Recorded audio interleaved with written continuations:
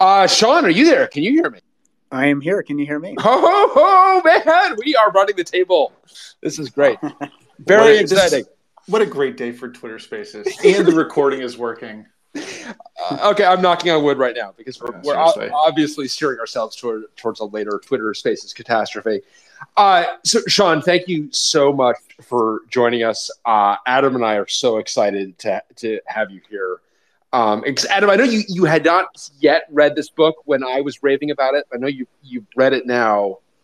I slammed through it. It is such a page turner. It is just fantastic. Like b- both in terms of connecting to topics that we've discussed. It's an awesome story of technology, and a lot of it felt pretty close to home. Like having having lived through these periods and seen a, a lot of the things. So getting the inside baseball was awesome, Sean. Absolutely awesome. Oh, thank, Yeah. So, thank you very much. and so this is just losing the signal by by Jacquie McNish and by you, Sean, and uh, just terrific, so well written, um, a- a- an incredible story.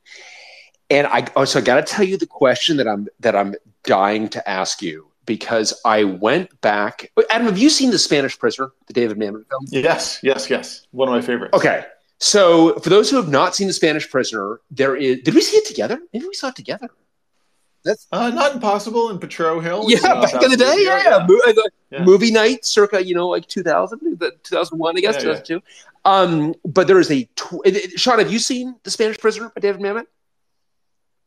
Uh, no, I haven't. Okay, w- good film, and there is a big twist at the end that makes you want to immediately rewatch the entire film. And the and I don't think it's giving away too much by saying that.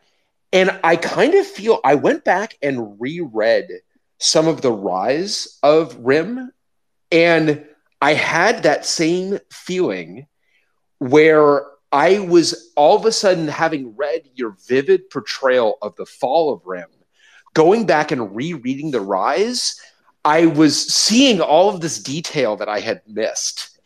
And I'm kind of dying to ask you now did you see any of those parallels as you're writing it? Where, and because in particular, here's the parallel I'm dying to ask you about. It feels like Rim itself was playing the role of the iPhone, with Bell South playing the role that AT&T would later play, where Rim does this thing that everyone else thinks is impossible, namely wireless email, and disrupts the entire industry. And I feel so, I see so many parallels with what the iPhone would do, you know, eight years later. I, I think you can argue that RIM created the playbook that, uh, well, it also created the playbook. Ah, well played. Thank you. Um, it, it, it, it, it, it wrote the it wrote the script that I think Apple probably perfected with um, you know with lessons learned uh, both from the mistakes and blind spots RIM had, but also the failures that Silicon Valley had um, um, had you know the mistakes Silicon Valley had made that RIM was able to capitalize on or sort of uh, deke around as it were. So I, I, I think I- and, and it's actually interesting. I think I don't think RIM gets enough credit for a lot of the things it did. It's sort of a forgotten tech company for a lot of people, but you know, I think about the way that a lot of uh, software is uh, sold nowadays. Slack's an example, and you know that was a playbook that was quite novel um, that RIM sort of put into play in terms of you know infiltrating the uh, the enterprise uh, and not going through the CIO's. They totally did. And I, I mean, and maybe you want to actually expand a little bit on that because I know, Tom, you had made that, that comment earlier today about how a genius it was that they did infiltrate the C suite. Michael Dell's a customer. I mean, it was a great way of getting the, the product out there. Because it, it, it feels like they, they made the product essential at kind of the top levels of the company, um, and it, going in through a very uh, a very viral path, but a very effective path as well. Uh, because they, they were creating something, and actually, you know, on that note, you've got this great anecdote about a rim engineer being in San Francisco and wanting needing directions and being able to get it over email and having like the light bulb go off. How much? Do you mind if I ask, like, how much? You know, you've got some. Uh, how, how many kind of uh, narrative uh, license you were taking there versus like? Because it sounds like that was an important moment. Well, that you know, I think what made this story really sing for us, and, and and what we really wanted to bring out, like this is a book we wanted to resonate as much with, let's say, the you know typical listeners of uh, of, of this group, as with you know our aunts or uncles or sisters or brothers around the Christmas table. You know, we thought there was a lot of little great little stories that uh, told the bigger story. Um, you know, it was funny. Like we were writing a book about tech, and we were trying to write as little about tech as possible, while trying to be credible with techies, but not sort of lose the average reader. And so, a lot of these little moments along the way really illustrated, I, I think, a lot of the the, the kind of human drama and and some of those aha moments. Like one of my favorite passages in the book is um, is about the um, is about the birth of BBM because nobody had ever told that story. And if you think about mm. how much instant messengers, uh, mobile instant messengers define our life, it, it, was amazing to me that these three guys were kind of unknowns. Um, they'd not been heralded. They'd almost been punished. Uh, one of them uh, was was you know actually punished for creating BBM at the time. Um, probably a lot of skunks work skunk work engineers have have experienced that kind of uh, you know, after the fact, can you believe that happened ism. Um, but, you know, I love the anecdote about how uh, one of the, uh, the co-creators of BBM was, you know, Disneyland with his, uh, I think his uh, mother-in-law, who like didn't even have a feature phone. And she was hooked on BBM, and uh, they were. That's all the, the only way they were communicating with each other to find out, like, you know, well, let's meet for ice cream or whatever.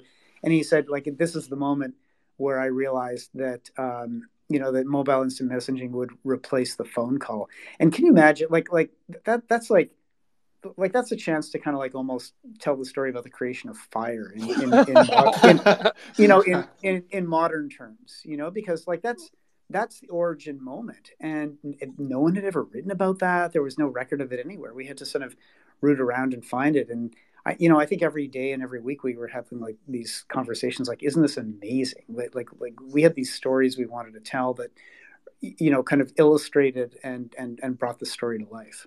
It, I loved that anecdote in particular. Um, you know, sitting at Disney behind some other dad on the ride, hollering to be heard, um, you know, ruining it for everybody and then being able to send this kind of covert text message, you know, via BBM, which was novel for its time. I, I love that great passage. Well, and I and I love the mother-in-law at being, you know, kind of accidentally finding herself on the absolute leading edge of technology, not necessarily being aware that this thing is actually not broadly available. That you're one of the only people on the planet who has this kind of instant messaging capability, mobile instant messaging capability.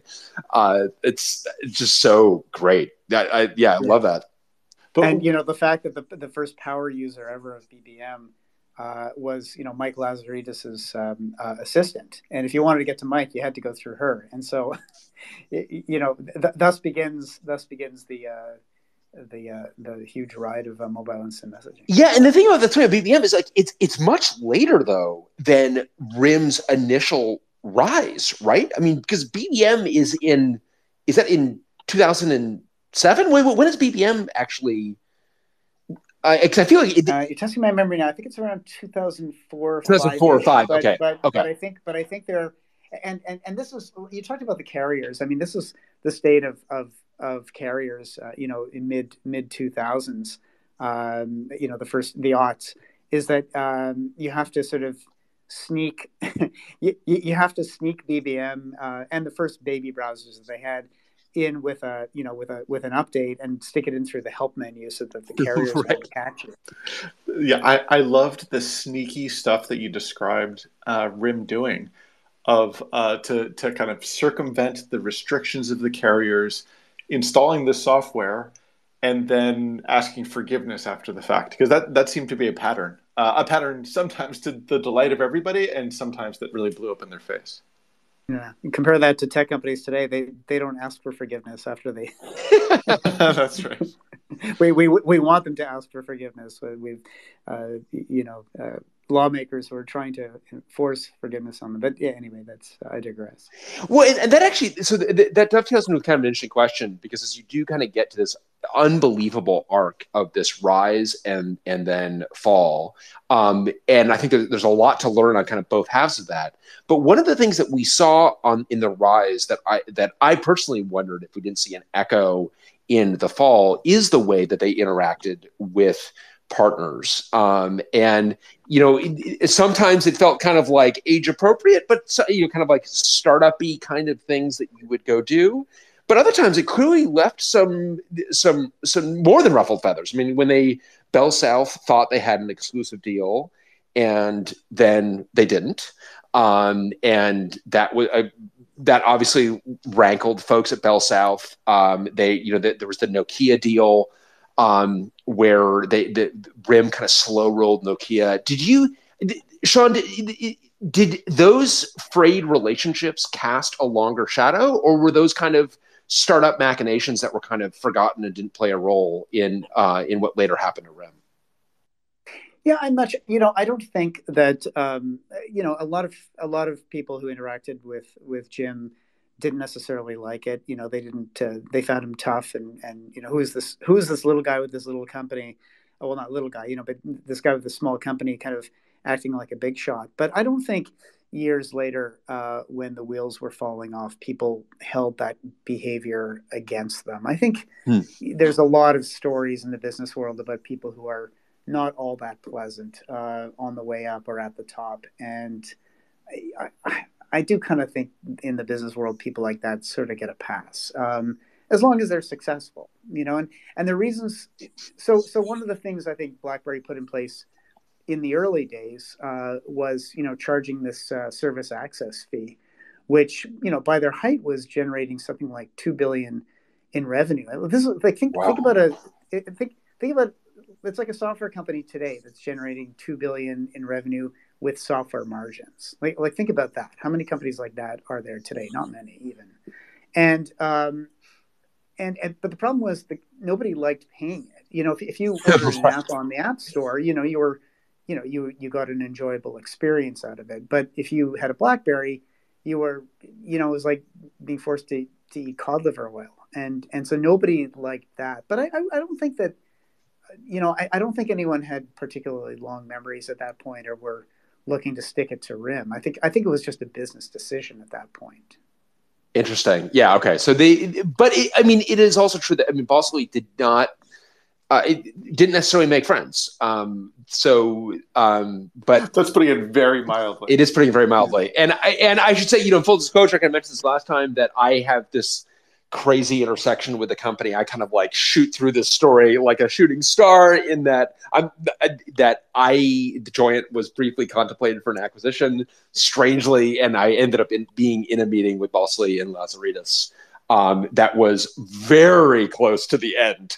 So, uh, as I think as mentioned last time, one of them would speak and the other would roll their eyes. So, very clear that we were. And actually, Adam, I went through the mails that we exchanged after that and that they exchanged with us. And Sean, you may be curious to know that RIM themselves likened the company to a house fire. And then they had this strange line that, and we think the Joyent folks will understand. And I'm not like, is that because Joyent itself is a house fire or because we are Silicon Valley types who understand the metaphor? Actually, unanswered question. It could be either.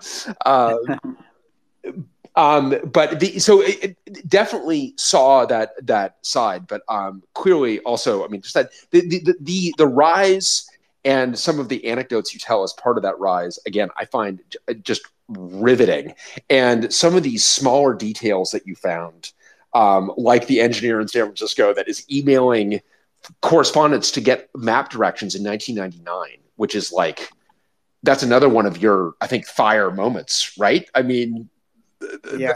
No, no, I, I, I agree. And, and, you know, you talk about sort of Jim's sort of um, disagreeableness, um, I guess, in, in meetings and with partners.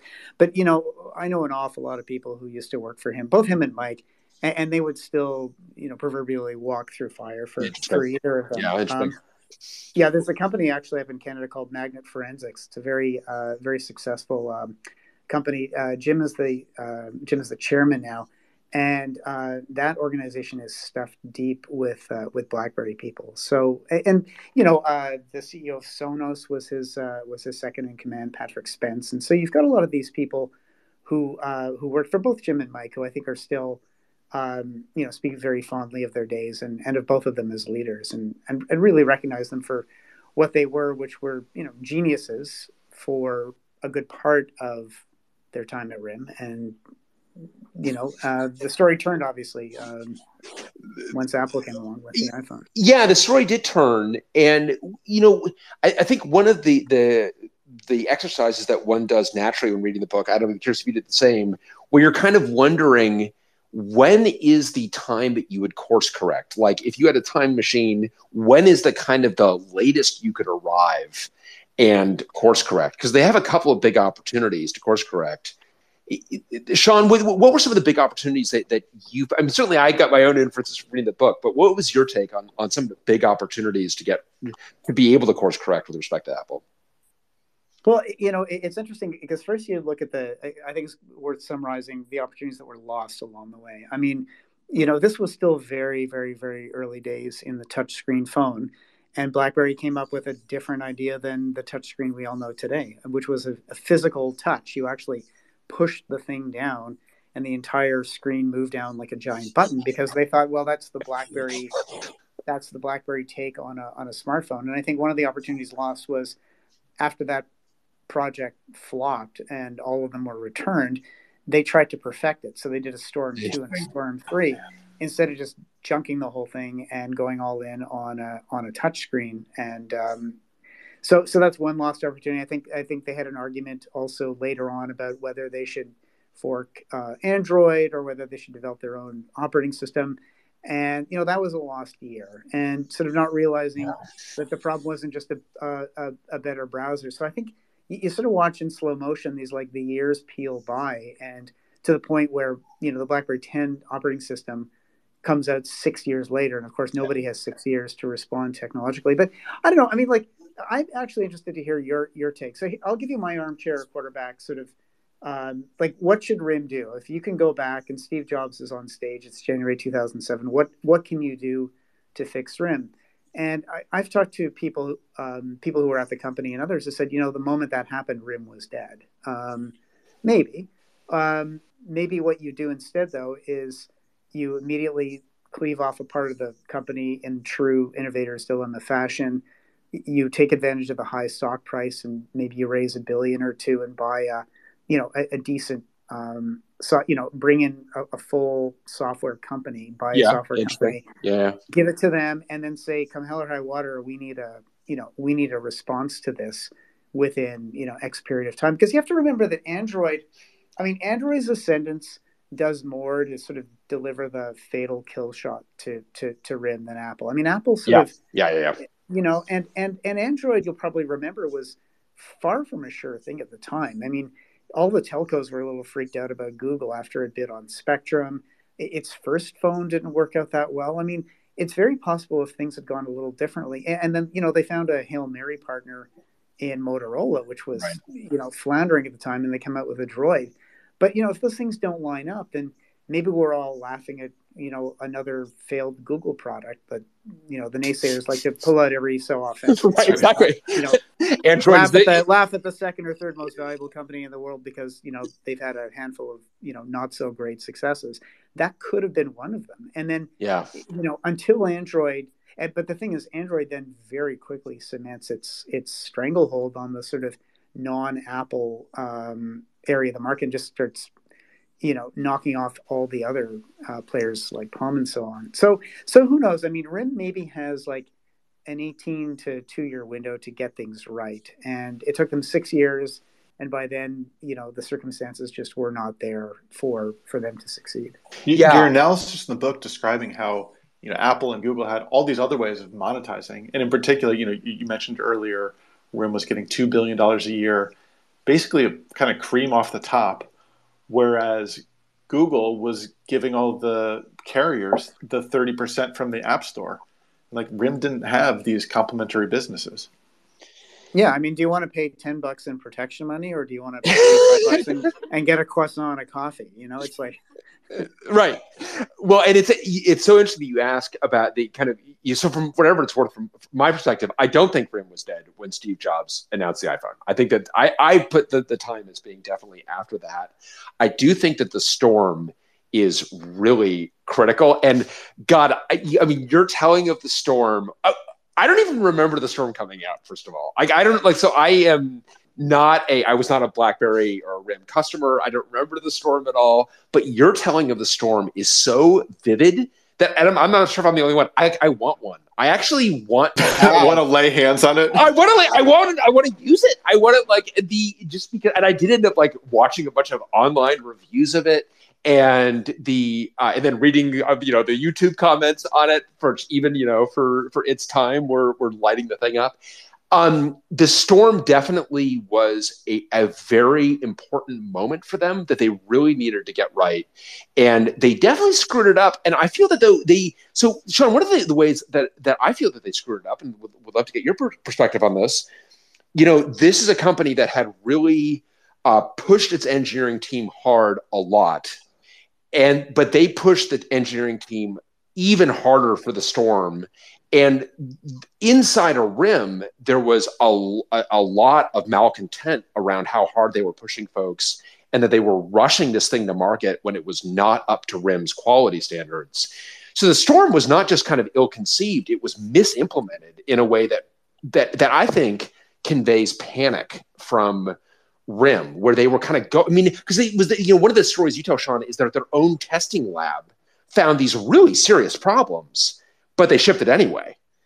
It, it, how did folks at rim feel about that? I mean did they am i right first of all to read in that much malcontent around how storm was shipped inside of rim? Yeah, well, first of all, I want to give uh, credit to my uh, co-author Jacquie, who who actually wrote that chapter, and I, I thought that I mean it's one of the pinpoint chapters of the uh, of of the book. But you know, I think you know, I think there was probably a, a, general sense of unease. Like this was a this was a company where things were always. There's a great line. I think you know it was always like incoming. You know, the shells were always being launched into RIM, and this was just another one of those. And you know, there have been years and years of you know, you're right. You have to meet this deadline. You have to make this this trackball work. Um, and and they'd had one challenge after another. And I think this one just had sort of it was just one thing too many. But you know, at least before they'd been iterating with not that much competition. You know, they didn't have to worry yeah. about things like the operating system. Like, like is the operating system sufficient? Of course it is. You know, is the email sufficient? Of course it is. Do we have to worry about a um, do we have to worry about an app store? No, because you know, an app store in 2006 is you know three ringtones and Mindbreaker, you know, or, right. or Minesweeper. Minesweeper. I I, I spent a few hours on Minesweeper, I'll, I'll confess. But, um, right, for those of us who actually remember the thing. And so I think, um, you know, it's just that perfect combination of, of, of it's too much change. It's too much of a jump. And, and, and they're also, you know, I think the fatal flaw of, of the storm is they're saying, well, we're just doing another BlackBerry. And so this is the, again, this is the touchscreen version of a BlackBerry. People love using clickable phones. They love the sensation of clicking something down. So we're going to give them that. And and what they weren't saying was, well, you know, we're going to be reaching an audience 10 or 100 times bigger than we've ever had before. Many of them probably don't use BlackBerry, so we have to give them something that they're going to love. They were trying to iterate from the existing platform to something where the market was going, whereas Apple had defined that market. Um, you know, RIM was great. RIM was a great innovator when it was innovating, and it was a terrible follower. I wonder if someday we'll say that about Apple. That Apple was a great uh, was a great innovator, but a terrible follower. I mean, that's a that's a you know that, that that's a hard turn for for anyone to make. And, it's hard to maintain that for for certainly as long as Apple has, but yeah, for even as long as BlackBerry had. Yeah. We we did say that about Apple. So Apple was dead on the operating table. Like the, right. the, the, the Gil Amelio days, we did say that about Apple. And right. we, you know, we've done the experiment of a Steve Jobsless Apple. Um, although, admittedly, like this, I mean, Jobs, I think has been Jobs, it, has been gone for over a decade. And I, you know, is it a fair criticism of? I mean, I, I, I think it's actually. I don't know, Adam. Are you lining up to get the iPhone 14? You're actually my litmus test for this. All right. Uh, no, I'm on the fence of iPhone 14. Um, but but you're but you're right. The, the, but some of it's just like, well, how many more cameras can you pack into a phone or whatever? um, and I'm not lining up for an, for an Apple Watch too, but you know, I'm, I'm probably the wrong demographic for that. I don't know. Yeah, I knew when I was sitting with my kids and they're making fun of the Apple ads. Um, that the, I mean, I think actually, honestly, the fact that Adam's on the fence with the iPhone 14, Sean, that is your strong sell segment with respect to, to, to, to Apple. Because I think, I mean, Adam, I mean, you were I, I mean, you came up uh, as a Mac aficionado. You were very early in on the kind of the resurrection of Apple. You were an early iPhone adopter. I mean, I think you're a fair. Oh, I mean, if you're saying, I mean, for months, I know that you thought I was insufferable talking about this iPhone that was coming, and it was going to be an iPod and a phone and all these things. More like enough already. That's right. But yeah, no, I was I was very into it. A big big booster. I'm still still using a Mac as my daily driver. But I mean, you got, you got to say undeniably, Apple, independent of the phone or whatever, is doing interesting things and continues to find ways to to resonate with folks. It's really in their DNA. And one of the things, Sean, that uh, occurred, you know, I, I, don't know if it's too far to say, but Mike Lazaridis really felt like the product person, like the person who was who embodied yeah. the the customer. And when it came to the original BlackBerry and and sort of its follow-ons and this you know five or ten year period, he just nailed it. Like he knew exactly what the customer needed. You know, long battery life. They, these Blackberries lasted for like weeks on a you know a single double A battery or whatever it was. I mean, just kind of lunacy. But then he just it, it you know you, you tell these anecdotes over and over again where he doesn't get it. And I think you said his parting words, you know, from the the BlackBerry board were pointing to a uh, keyboard uh, BlackBerry variant saying "This I get," and then pointing to the this you know the all glass touchscreen version saying "This I don't get." I, I thought it was v- very poignant. But you know, how many trailblazers or innovators have there been? Like like every innovator's dilemma is about uh, an established organization getting upended. But a lot of those established organizations were trailblazers in their day. Um, Absolutely, um, totally. You know, even even Amazon. You know, I um, I, I talked to a couple of uh, uh, you know people who were very senior in the uh, in the Amazon organization um, in the early 2000s, and you know, right around 2003, 2004, I think when Amazon's growth rate was you know starting to dip below 30 percent. That's when um, you know that's when Jeff Bezos was getting um, nervous, you know, and, and I think started to realize that, you know, we need to find digital versions of everything we sell. And um, out of that sort of w- worried period came kind of everything that's defined Amazon's true growth from a, you know, seller of books and DVDs and so on to the all encompassing tech superpower that it is today. And uh, from my understanding, you know, this company, which was not even 10 years old at that time, and still an innovator and still driven by the day one mentality, had trouble stocking the sort of new organization within the company that was meant to find the the video versions of what they were going to do, the digital versions of everything. Um, so even even the innovator within ten years, it's not like everyone was jump leaping to get out of the book selling business or whatever and and, and take on this um, take on this unknown new venture within Amazon. Think about that. So so you know, I mean, Mike was, you know, let's not forget, and, and this is part of the reason, by the way, that Mike and Jim agreed to participate uh, with the to, with the book to the extent that they did. They knew that the fall was not a pretty story. They'd lived it. They'd seen the company's name become a laughingstock in the pages of the financial papers, but they felt like, you know, there was a great story on the way up that had been kind of forgotten, uh, undertold, and their sort of arrangement well not arrangement they're they're said to us well you know we'll talk with you and we'll participate in this book but we want to know that you're telling the story on the way up as much as you are on the way down because it's an amazing story. And, and we agree. I mean you know think about the role that devices played in the average life of the average person not a tech person necessarily you know in in 1995 or 1996 totally. Yeah. Our average interactions with technology versus today and how much we live on our phones. And that all happens because of Mike Lazaridis and Jim Balsillie. They this was the fire create, you know, to use that to, to stamp that one to death a little bit. But but the, the, the fire creation of of our era, and it starts with BlackBerry. They were the ones who figured out a way to make handheld devices compelling, must need devices. And it wasn't just an aha moment. It was figuring. It was a number of aha moments and a and selling it and positioning it the right way and getting it in the right hands of the right people at the right time.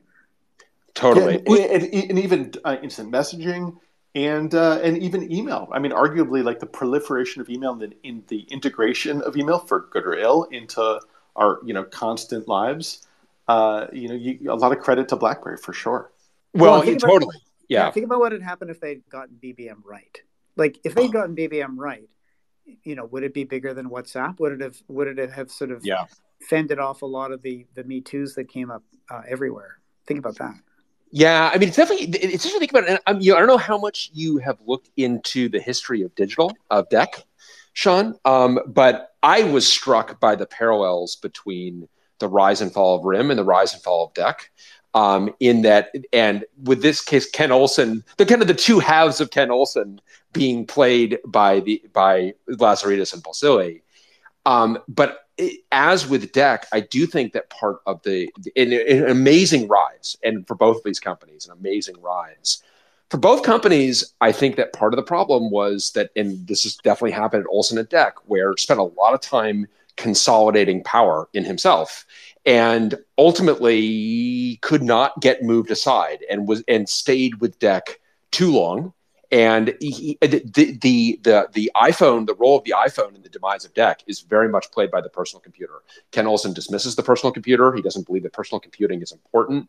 He dismisses it as a toy. I mean, it's like even some of the rhetoric is some of the rhetoric that you hear out of Lazaridis and Balsillie. And the, the I, I so I was left wondering. To me, one of the major problems, because I think you're right, it is very hard for single individuals to be able to kind of span multiple revolutions and I view part of the problem at RIM is not really having a bench that was ready to take the reins of that company earlier. And to that, like one question I definitely have for you is that the co CEO model is, I think, nuts. I mean, I don't think the co CEO model makes any sense at all. But it, certainly, I mean, I will put it this way it is unconventional and it has not been mimicked and I don't think anyone is going to look at RIM as a case study for the reason to, to, to mimic it. Did, do you think that the co CEO model was part of the problem? Um, or is that just a, a, a, kind of coincidental here? I don't know. It worked really well until it didn't work really well. You know, and, and, and, I think I think that's sort of the, I think that's kind of the caveat for the for the co CEO model. I mean, you know, Jim couldn't have done it without Mike, and Mike couldn't have done it without Jim. Um, and I don't know if Rim could have been as successful if Mike didn't have an equal voice and seat at the table as Jim and and vice versa. And I think they okay. you know, I mean it was it was a great partnership and they would not have gotten to where they were, I think, without it. But um, you know, people change, companies change, and then um, you know, all this incoming trauma um, you know, it, it, affects them in different ways. I mean, Mike is a very, you know, he's a religious person. He he has a lot of uh, he has a lot of faith, um, a lot of faith in himself, um, a lot of confidence in science. And, uh, you know, Jim's great at uh, deking and bobbing and weaving and, and walking into a situation and playing it as best he can, um, you know, taking the Sun Tzu uh, model with The Art of War. I, am old enough to remember having gone to business school when everyone had a copy of The Art of War right. tucked under their under their um, you know under their arm but but jim might be the only one who actually opened the thing and read it. Uh, uh, there were a lot of things i saw people talking around in business school that i suspected they didn't read. But anyway um, right. um, but uh, yeah and you know i mean that model works great until you walk into a situation and you have no answer. Like how do you navigate a patent lawsuit where um, you know you've run it you've run out of options and your whole service can be shut down and jim had never experienced anything like i mean that was a you know that was a really damaging ex- episode for the company because it really both of them got knocked for a loop by the the impact it had on them at, at different points in the uh, you know in the process which dragged on for years. Dragged on for years and it actually brings up another great question which is the i mean the ntp lawsuit obviously horrifying to i think anyone in technology. I don't think that I, I, I, can't imagine that RIM was anything other than sympathetic to anyone in technology. This is at a time before, honestly, uh, the John Roberts Court had uh, taken on a bunch of patent cases, and there's a whole bunch of reasons why the NTP case uh, couldn't happen some number of years later. Um, but the NTP case does seem to have been a, I mean, certainly a distraction, but more than that. Do you think that the NTP case uh, played? I mean, if you take away the NTP case, does Rim have a different outcome, um, or uh, is it, did that toll, that emotional toll that it take, was that so significant that you think it played a, an essential role in the challenge that Rim faced? Well, it's sort of like it's like that when you're playing a video game and one of those sort of punch 'em up games, and and you know you sustain a blow and, and you can survive from, but you start to get three, four, five blows, and it's it's you know you've lost your turn. I think I think that was the first of a series of blows.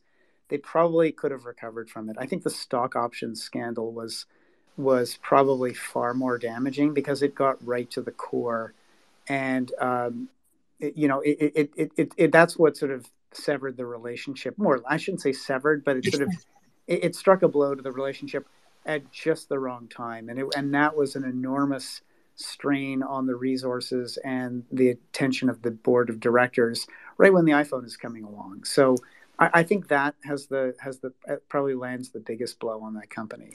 When you, when you described uh, Jim and Mike really as two halves of a whole, and it was it was a really kind of touching portrayal of them. You know, th- certainly through the first half, um, and it, especially with the way you described Balsillie, uh, Jim Balsillie, um, I was amazed with the patience and latitude and understanding that he extended to Mike Lazaridis. Um, but it, it, that NTP case must have been, I mean, you talk about it as a blow for Rim to sustain, but for that relationship to sustain in terms of, you know, Jim, you know, it continuing to extend that blind trust to Mike. Did that, was that the first kind of chipping away of it? Certainly by the time they get to the the stock backdating uh, option scandal, mm-hmm. um, that seemed to really undermine it. But did that erode that that kind of blind trust or that that two halves of a whole kind of dynamic that they had?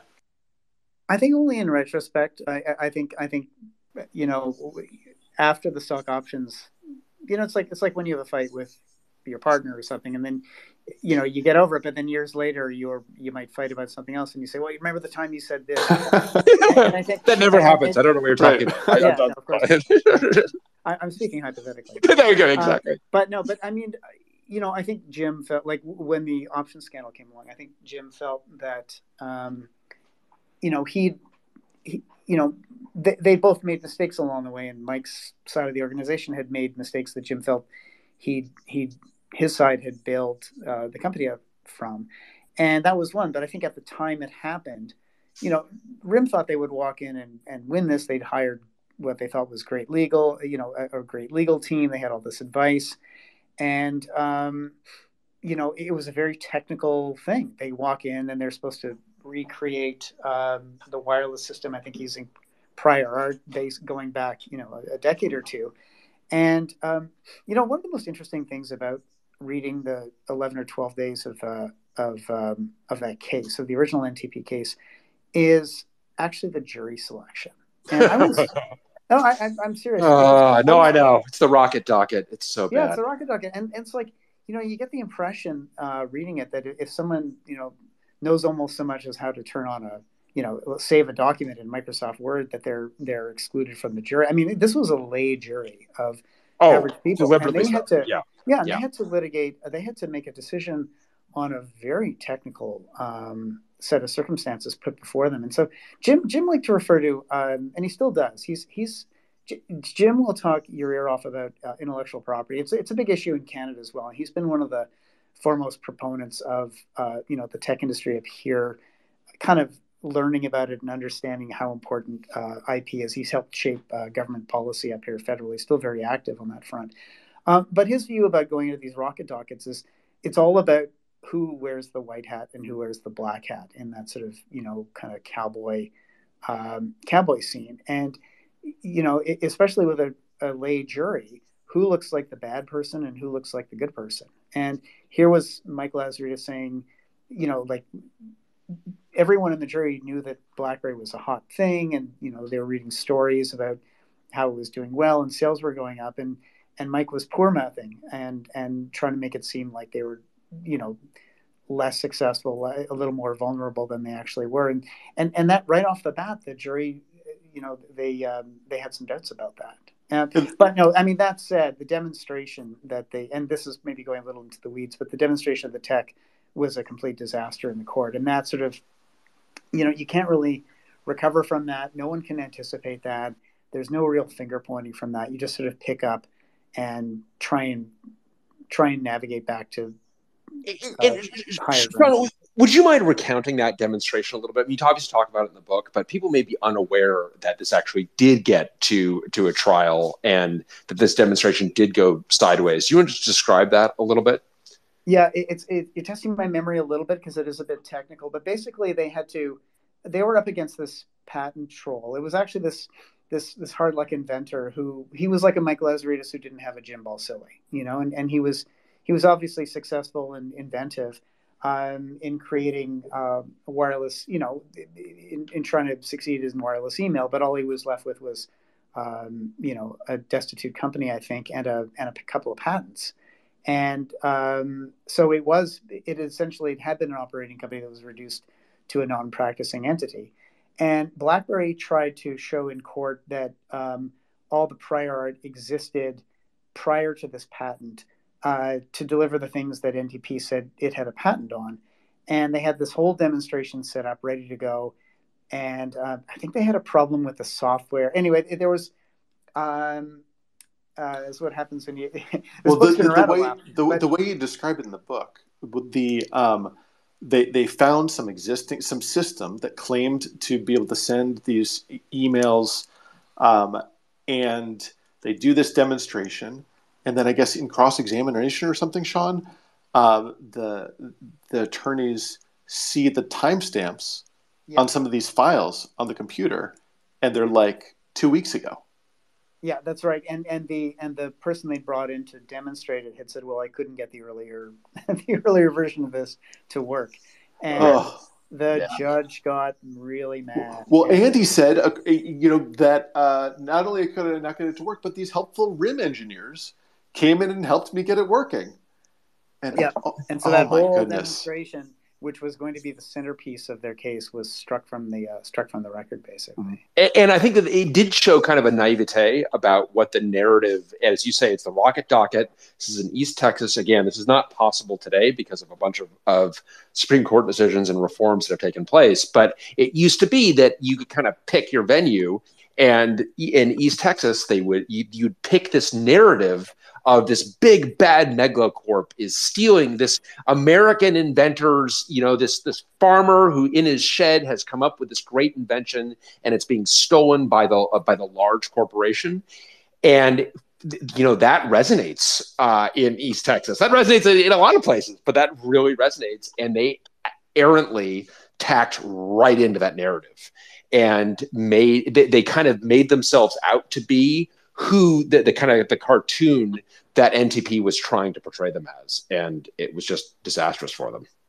Yeah, and I, and I, don't think any of them knew what they were walking into. And again, they had they had good legal advice. You know, they they right. hired. Well, I shouldn't say good legal advice. I don't want to be a judge of whether they had good or bad. They, they hired, but they, they it was hired, expensive. Oh, they hired. yeah, yeah. I, I mean, they did what you would expect um, a company to do in that situation, which is to to bring in a big name. And anyway, uh, and I think for whatever it's worth, I mean, a lot of other folks learned from that. Um, and you know, Adam and I were kind of in the uh, in the extras of a cast of thousands in a very large patent suit between and uh, between NetApp and Sun, and uh, NetApp tried to initiate this litigation in East Texas and one of the absolutely glorious things that Sun's Counsel did as part of this was a countersuit that had a bunch of patents that NetApp was, was violating, but then also a California statute, an anti-competitive statute. And as a result, went and they sued them in San Jose, and countersued in San Jose. And when the courts kind of looked at this, they're like, well, we've got you know these federal statutes, but then we've got this California statute that we got to go deal with. So we're going to toss this thing into San Jose, which was considered to be a total win because it's harder to find that jury in San Jose than it is to find it in East Texas. Um, and of course, the, the but this whole and I think that actually, honestly, the NTP suit and the damage that that did really cast a shadow and and, and caused a bunch of really and all and and then the death of Rehnquist on bluntly because but Rehnquist never took a patent case. So for 30 years, patent law had effectively stopped. Um, and when Roberts became the Supreme Court justice, he was taking a bunch of patent cases and a bunch of 9-0 decisions. So that that totally changed. And so I think that there's a bunch about that case that cast a long shadow. Hmm. The, so the, the and then the options backdating you said so that that's interesting that you feel that is like the options scandal is kind of the death blow of their relationship is what it sounds like. Is it yeah. Well because both of them you know i think mike had and this probably gets to the heart of the dual ceo thing you know because because mike had always felt like mike and jim always felt like they could trust the other part the other side of the business to the other person wholly and completely. You know i mean jim never set foot in the lab and Mike trusted huh. him to to be a shark and do his thing. And Mike, um, Mike felt that Jim had, you know, that the options backdating. He didn't understand this stuff. He just said, "Okay, let's do it." He he didn't know. He was even though he was co-CEO, he wasn't sort of up to speed on this stuff. And I think he felt like Jim had put the company at risk. And when he had a chance, and, and Jim felt that he took, um, he, he asked for leniency, um, which he felt was a betrayal of the partnership. So each of them felt betrayed by that, but they, they couldn't talk about it for months. So this sort of built up between them. And when they could, when they finally the all the last matters were settled with the uh, you know with the securities uh, commissions in the United States and Canada, Jim finally went in and and confronted Mike, and um, they had a very emotional conversation. Uh, but from Jim's recollection, Mike's uh, Mike had less of a recollection of it, but you know, it, it didn't lead to a really satisfying outcome. And, and, and people said afterward, you know, you know, they kind of kept their fights to themselves a bit, but, um, yeah. but they, but they would say, you know, it was like, you could tell mom and dad weren't getting along. And that was yeah. the, the oh, you could, you could definitely tell that. Yeah. yeah. Yeah. So, so that's, I mean, a bunch of things that are interesting there. One, first of all, and I think this is kind of a persistent theme, uh, you have this outstanding reportage from these intense conversations that Lazarus and Balsillie have with one another.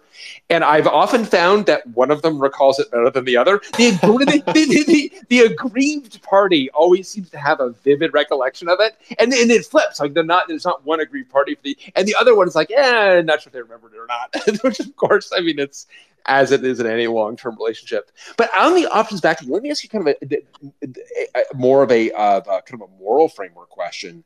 Did they disagree? Because honestly, it feels like they did about whether what Rim did was right or wrong in in a moral sense, not a legal sense. Um, that's an interesting question. I I uh, I always hate when people say that to me, so I'm sorry for saying that to you. Uh, you know, that's that's a really interesting question. Uh, no, actually, I actually like that. I'm not. I don't get. I get actually get offended when people say, "Actually, I agree with Brian." That's what drives me nuts. uh, you know, like everyone was doing it. Um, everyone was doing it. So it's it's is it right or wrong if everyone's doing it? And I mean, the thing is, I think they were. You know, they they ended up sort of being kind of a the, the you know the the the kind of sacrificial lamb on yeah the, the head on the pole at the at the entrance to the medieval city you know kind of warning warning all visitors and, and i think part of the problem was because this was an email company um, you know, the, the, this, oh, the oh, so they, they, all the receipts were right there. The, the receipt, yeah. we, we, we, are a receipt gathering company. We have the receipts. Yeah, they, they left they left a they left a, an extensive, as it were, a digital paper trail that made it relatively easy for patient regulators to to sift through um, and and make their case and you know I guess one could cynically say claim their victim you know hold up their hold up their their their prey as it were for the, well for yeah I mean the, I mean, victim is a bit strong, right? Because I mean, they. I, so my read is that that Lazaridis knew at some level that, like, yes, everyone was doing it, but everyone. I mean, everyone was wrong. Everyone was actually doing something that was actually wrong, and the and Balsillie believed that like actually everyone was doing it and we are being selected as a victim. And because everyone was doing it that like that kind of takes morality out of it. That was my read. Is that not is that not a am i overreading there do you think?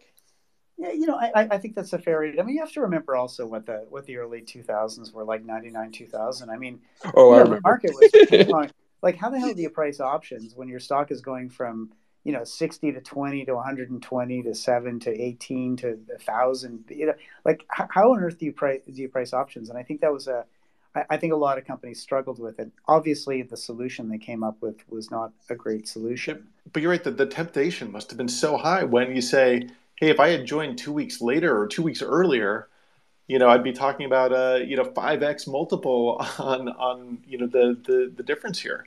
So can well, we just was, move this around? It, it, was a big struggle. I think a lot of companies, uh, and I think a lot of companies had that. I mean, I was actually covering this stuff um, 20, 20 some years ago, and, and it was it was everywhere everywhere in the tech industry, and and I think well, was just one player. It, yeah, actually, for whatever it's worth, uh, Sun. I'm not no. I do not know for a fact that there wasn't, but I do not think that Sun actually got caught up in it. It was it was in a lot of places, but I think a lot of places. Okay, not everywhere, but a lot of places. Well, but I think because people say like, oh, everyone's doing it. It's like, well, not actually everyone is doing it, and the and those folks that aren't doing it are actually trying to abide by the law. And there's a little bit where by by, by regulation anyway and I mean, it was, it, I think people felt like they were in a gray area. And you could argue that maybe they were. I think that because this was an area where there hadn't been much regulatory enforcement. But um, it's, it's, so Tom is, so Tom Lyon's got his hand up. Tom, Tom, just to introduce Tom to you, Tom was one of the early employees um, at Sun Microsystems and is a regular around here. So, Tom, welcome. Thoughts for Sean? Thanks to be on. Good to be on. I was going to comment that the, the ironic nuance of the backdating thing is that it, the backdating wasn't illegal. It was the failure to report it. Right, right. yeah, that's and, a good and, point. And, yeah. And and so everyone was doing it. It's like, okay, everyone was doing it. But the subtlety was you gotta report it, which nobody nobody did, to my knowledge. And the, the, the sacrificial victim out here was Brocade. Went after them. Yeah, interesting. And and that, you know, honestly like good on the regulators. I mean the way they kind of pro- they they know what is going to get everyone else's attention is which is i take one of your peers and if i actually enforce this to the full letter of the law full letter of the regulation with one of your peers it's going to wake everybody up. And it did. Like i don't think options backdating is not something that is i think as commonly engaged in. Yeah. Hmm.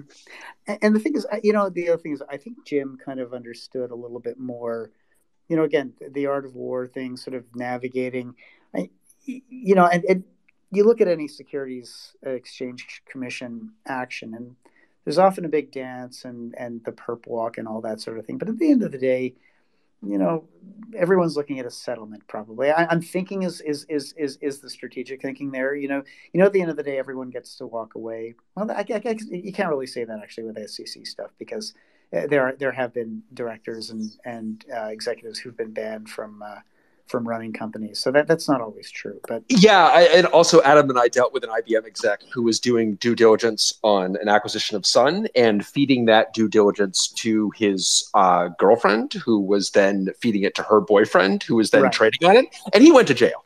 Yeah, no, so, yeah, of course. so it, there are there are definitely limits, but um, so it, you know one question I wanted to ask you about uh, a, a, figure that that features pretty prominently in the book to the point that I think that you, you know you've even called him the the, the third leg of the RIM stool in early days is Larry Conlee. Um, so Larry Conlee comes from Motorola. Uh, and I, interestingly, like uh, I mean, you view him as a, a, a new kind of engineering discipline arriving at RIM. I wonder if you could speak to to that arrival, what it meant for RIM, and then what his subsequent departure and actually re-arrival uh, meant for RIM some years later. Yeah, well, he's he's he's old school fire and brimstone. I mean, he's from he's from vintage Motorola, good old fashioned Motorola, um, where they made tough managers who, uh, you know, there was a performance culture. And, you know, he joins this sort of unruly startup that's, um, that's figured out how to make people, um, you, you know, how to make wireless email popular, but is, you know, it doesn't have one year targets. Um, you know, if you ask someone, when's this product due? Someone will say six months, another person will say two years. And, you know, he brings in an operating discipline that is uh, that is probably essential and needed at the time, and is um, you know I think is an engine for the company's growth. But it comes at the cost of you know a, a lot of the the early culture, right? You know the the, yeah. the early engineers. Um, and I'm sure that happens in a lot of companies um, that grow up from a scrappy young um, uh, place full of mavericks and then outlaws into a into something much bigger. And um, the thing that that Larry had was um, a pocket veto. He was the only other person in the company who could walk into a meeting and say, "This is the way it is," and everyone would know that he was representing Jim and Mike. Um, the problem was that you know he wanted more of that. You know, he wanted to have the role of of president. He wanted to be formalized as the one person um, underneath him, but they each had their own COO. Which is, I mean, and, that is a, I mean, the co CEO model, okay, co COO model as well. It's like, wow, okay, that's, uh, yeah, and and he and Don Morrison, uh, Jim COO, could not have been more different. I, I mean, it, Jim was, you know, or um, uh, Don was a lovely guy, and uh, you know, everyone would come to his uh, onto his couch to sort of sit down and talk about the world and and and lay out their problems. He was the, he was a, a, gentle father figure for a lot of people and and and much admired. Larry was tough and respected. Um, probably not loved, but definitely respected, wildly respected. A lot of people, yeah, I'd never heard of him actually uh, before we started doing, uh, before we started working on the book. But everyone said, "Oh, if you could get Larry to talk, he would be, uh, he he would be great." And um, and and you know, because he couldn't get that one position which he thought the company really needed, I think he got a little bit frustrated over time. He was getting into his 60s. He had his knees replaced, and and decided it was time to to leave. And this was right at the time when things are the wheels are starting to get ready to fall off on RIM, and and they they needed a Larry Conlee more than ever. Not that it necessarily would have fixed everything, but I think it would have. I think things really spiraled out uh, quite badly after he left, and I think he would have he would have i mean maybe the playbook never would have seen the light of day um, or been as much of a disaster if he'd been around at that time yeah, interesting. Well, and so you, as you kind of get to that, like Conlee's departure and them, you know, with the storm first, and then uh, you know the playbook later, trying to respond to to Apple and the iPhone. I do feel that that, and I love your take on this. Um, you know, Andy Grove is famous for saying that only the paranoid survive. It, you definitely see it in the way that Intel conducted itself under Grove for sure, in that Intel would have this huge roadmap lead over AMD when AMD was dead.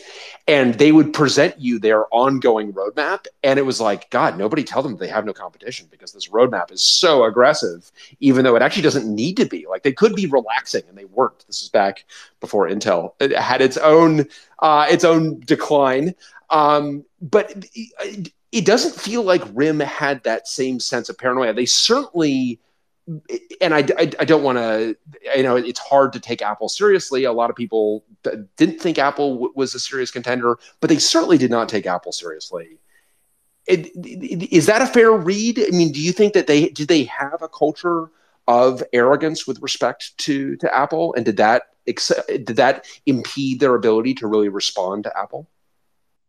I, I think probably one of the one of the big mistakes they made was was misreading or, or, or not taking into account how much the carriers would bend.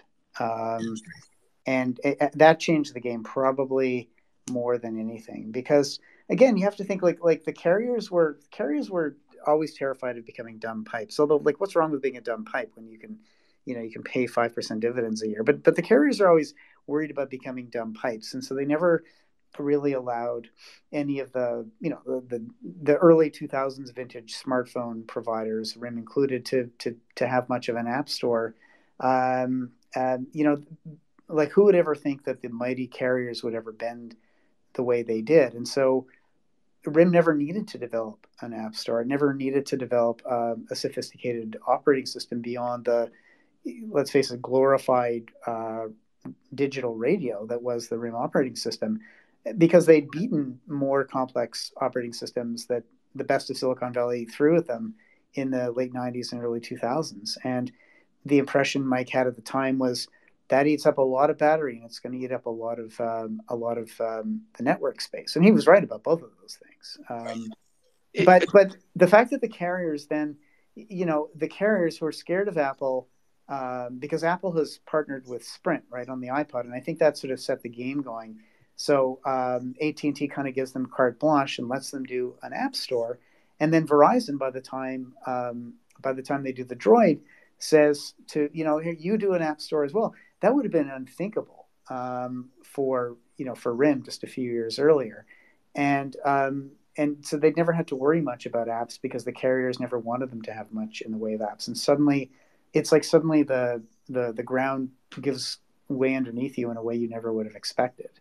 And that's right. and that's yeah. and that's the carriers teetering. And so, you know, if they had thought, you know, if you go back to 2001, 2000, and and you tell Jim and Mike, you know, in seven years, the way the carriers are going to be is going to change, and uh, they're going to let Silicon Valley in the front door, and Silicon Valley is going to start to call the shots.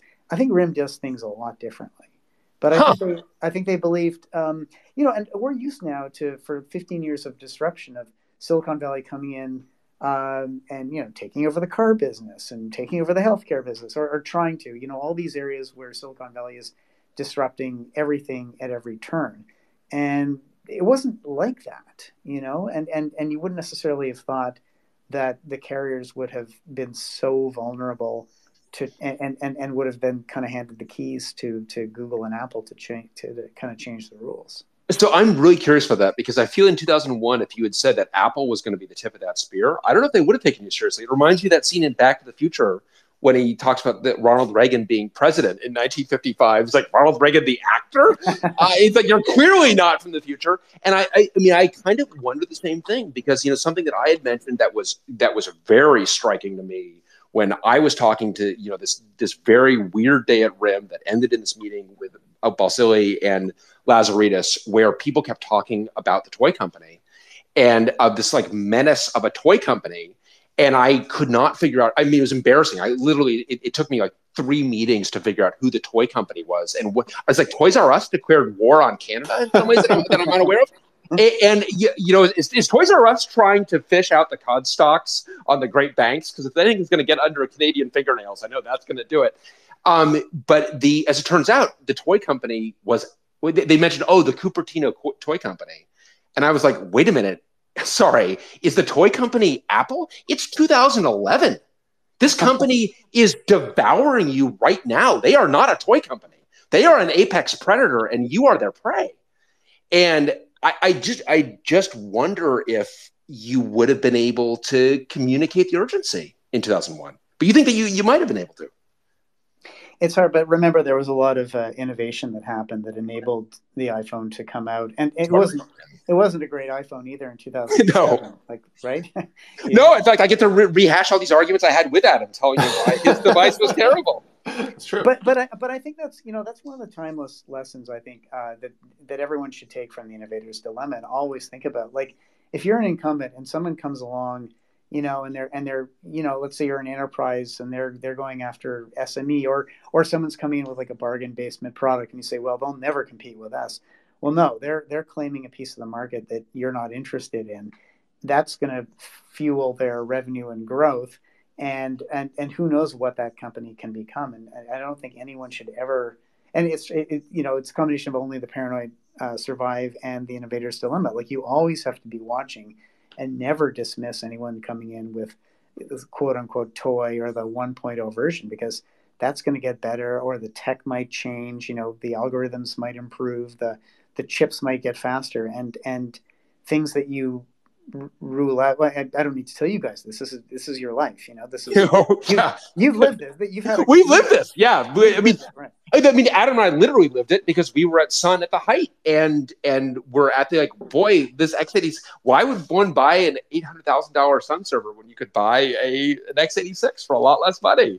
And as it turns out, I, I feel I feel like I'm innovation splaining here. Sorry, guys. no, no, No. no, No, no. Spot on. This is it, spot it, on. it- it is it is spot on, and I think that you're right that that is. I feel that is actually the you know there are a bunch of like lessons in here. But the big lesson from this, I think, is Sean. I think you exactly nailed it. The big lesson is you, really do not dismiss that technology on the horizon.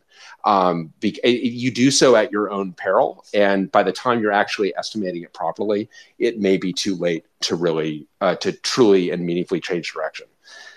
Yeah, I mean, like you know, one of my one of my sort of takeaways is, you know, good products help you do something you were doing before more effectively and efficiently, but great products can you know significantly transform how a task is performed to such an extent that it reorders the world, uh, you know, reshapes human behaviors and economic activity. You know, you get to set the ground rules and standards and establish leadership in the global race, but the race doesn't end. And on comes the next incumbent and you know rinse repeat uh, and so on Absolutely. And it, this was indeed, it was a great product. It was a revolutionary product. The book is superlative. Uh, I just cannot recommend this book strongly enough. Adam, hopefully you didn't think that I I uh, I, I, know you, you, might actually agree with Brian on this one that this book is actually an, an yeah, extraordinary yeah, book. Folks, you heard it here. I actually agree, agree with Brian. uh, well, and thanks, and and we, we we would be remiss if we did not mention that this is going to be a feature film. this is uh, which is extremely exciting. It must be just, I mean, that must be very exhilarating for you, Sean, to have a book that is being used as the basis for the big screen. Must be a lot of fun.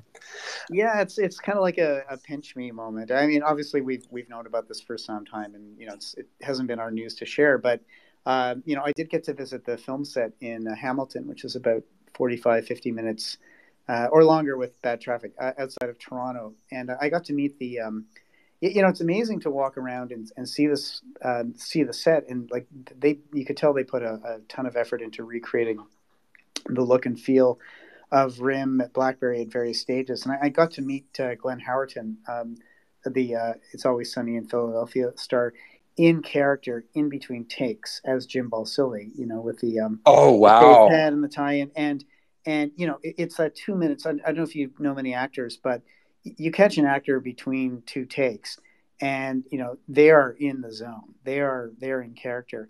And i walked in and um, you know it took my breath away because it, it, felt like meeting jim balsillie 15 or 20 years ago. Wow. So and you so, really so nailed it. Yeah. yeah. that was neat. I mean um, and you know it's great to think you know we wrote this story we put a lot of effort into it and it's nice to know that um, you know, it still resonates seven years later, and it will reach a, a new audience, and they'll they'll tell their story their way, and and uh, you know, hopefully the film will be a success and and and bring more more readers to the story, and and and just more interest in this in this improbable, great little Canadian company that started, you know, above a bagel store, the old the old cliche, and and changed the world until it was disrupted itself. It's uh, it, you know, it was an honor and a privilege to be able to write the story and and yeah, I, I, take some some great satisfaction knowing that that the story will get to be told uh, in a new medium for. for well, well the, the story will endure. I will tell you that most people would not know who Data General was were it not for Tracy Kidder's Soul of the New Machine. Um, so reportage endures, um, and I think the lessons from this one are are timeless. Cannot recommend this book strongly enough. Adam actually agrees with me, um, and so. uh, definitely worth checking out. We're all going to check out. We're, we're going to have to do a, a, group watching of this thing when it becomes available.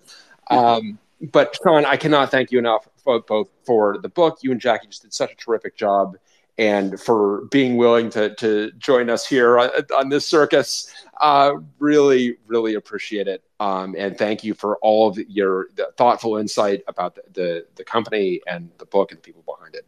Um, just can't thank you enough. No, thank you for the opportunity and and thanks for the interest. I really appreciate it.